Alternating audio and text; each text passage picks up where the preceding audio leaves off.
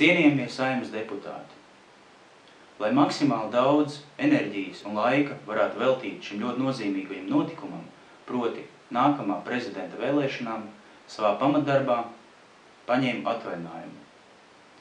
Šajās trijās nedēļās es un dombiedri mēs paveicām tik, cik bija mūsu spēkos. Bet no jums mēs lūdzam pavisam maz. Esiet godīgi pret Latvijas iedzīvotājiem un pirmkārt esiet godīgi pret sevi pašu. Lūdzu nolieciet malā partiju intereses un vienkārši balsojiet par pašu labāko kandidātu. Lūdzu atgrieziet ticību un cerību labākai Latvijai jau 3. jūnijā. Nobeigumā es jums nodziedāšu dziesmu, kuru latviešu valodā jūs dzirdēsiet pirmo reizi.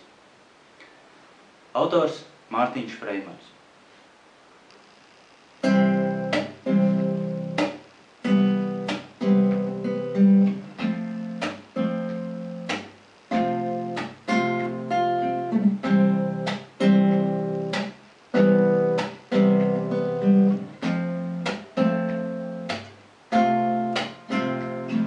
Es lēnām klīstu naktī pa tumšajām ielām un noraugos, kā sapņī bojā iet.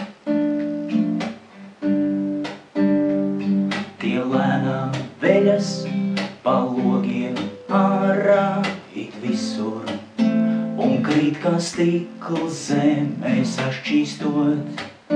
Man ir tik ļoti žēl, bet es jūtos bezspēcīgs, ja kaut uz īsu brīdi šo pasauli spētu izmainīt. Bet cīņa nav galām, un daudzi to zina, kā tas tikai tādēļ, lai mēs domātu, ka kāds vienmēr uzvar, kāds atkal zaudē, lai liktu mums ticēt, ka jābūt ir tā, es tam neticu šim pēc stāstam melīgajam, kurš ir aizgājis pār tālu. Es spēru soli un uzdrīkstos, pats sevi būt redzētu, cik skaisti esam mēs, kā ik viens var sasniegt, vairāk, ja tikai sāktu ticēt sapņiem un spētu paši sev noticēt.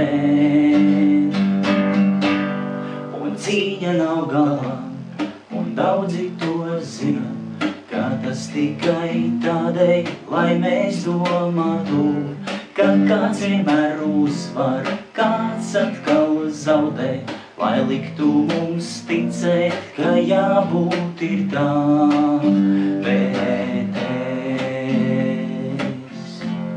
tam neticu. Jo cita ceļa jau mums nav, veltīt sev.